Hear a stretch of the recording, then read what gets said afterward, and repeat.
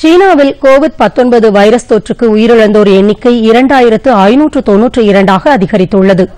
எழுபத்தி ஏழாயிரம் பேர் இத்தொற்று காரணமாக மருத்துவமனையில் சிகிச்சை பெற்று வருகின்றனர். இந்நிலையில் நோய் தொற்று பாதிக்கப்பட்ட உகான் நகரில் மக்களுக்கு விதிக்கப்பட்டிருந்த கட்டுப்பாடுகளை சீனா சிறிது தளர்த்தியுள்ளது.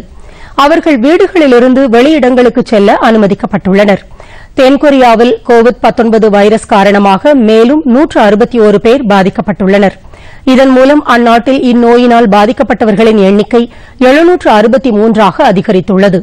இதைத் தொடர்ந்து நாட்டில் போதுமான தடுப்பு நடவடிக்கைகளை மேற்கொள்ளுமாறு தென்கொரிய அதிபர் மூன் ஜேன் எச்சரிக்கை விடுத்துள்ளார்.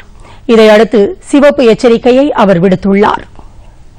வடகொரியா நாட்டில் முன்னூற்று எண்பது வெளிநாட்டினர் வைரஸ் தொடர்பான கண்காணிப்பில் வைக்கப்பட்டுள்ளதாக அங்கிருந்து வரும் தகவல்கள் தெரிவிக்கின்றன. மருத்துவ பரிசோதனையில் அவர்களுக்கு நோய் தொற்று இல்லை என்பது உறுதி செய்யப்பட்டது.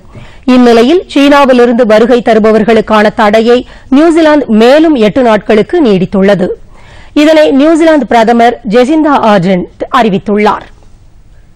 இதற்கிடையே சீனாவிற்கு இயக்கப்படும் விமான சேவை அடுத்த மாதம் பதினைந்தாம் தேதி நிறுத்தி வைக்கப்படுவதாக பாகிஸ்தான் அறிவித்துள்ளது.